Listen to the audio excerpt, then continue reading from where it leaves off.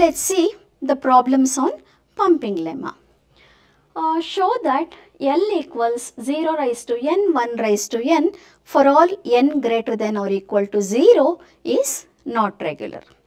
So, for us to apply pumping lemma and solve the problems, first we need to show that the length of the string is greater than or equal to the number of states.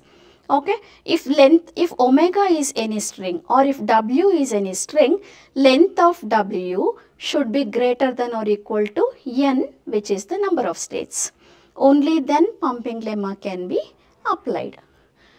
So, let L is regular and n be the number of states in A. A is the automata. Consider the string w equal to 0 raised to n, 1 raised to n. So, let us consider the string.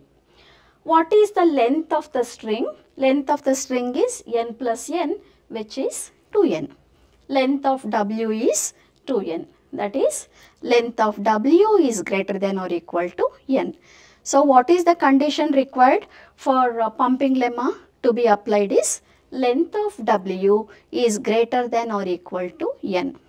If this condition does not hold, we can immediately say pumping lemma cannot be applied. If this condition holds, only then we can proceed with solving the problem. Now, so we can split W into three parts X, Y, Z such that what is the condition? Condition number 1 length of xy is less than or equal to n and length of y is greater than or equal to 1. So, what did we see in the theorem? y not equal to epsilon. It means length of the string y should be greater than or equal to 1. One input I would like to give is always keep the length of y as 1 because we will be rising to y rise to k. So, when we have to rise to the power then it is always good to keep y as 1. Okay. So, that is a small input. Now, so let us expand this string 0 raised to n, 1 raised to n and write it like this. So, w equal to n number of zeros followed by n number of ones.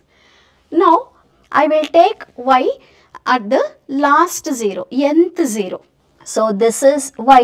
What is length of x? x is, see this total number of zeros, we have n number of zeros. I am considering the last 0 as y. So, length of x would be n minus 1. So, there are n minus 1, the length of x is n minus 1.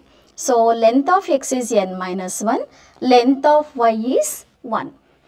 We need to find out length of xy.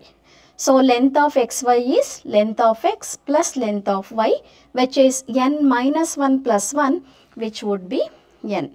So, the condition holds length of xy is less than or equal to n. So, that condition holds and y we have kept it as 1. So, that condition also holds. Now, come to the third condition. According to pumping lemma, x y raised to kz belongs to L for k equal to 0, 1, 2, so on. So, now we will go on giving the values for k and whatever new string we get, we should see to it that whether that belongs to L. If that belongs to L, we will say it would be regular. So, now we will give the value for k. If k equal to 0, see y raised y is here, this is y. So, if k equal to 0, this y does not appear. If k equal to 0, y does not appear. Number of zeros will be less than number of ones.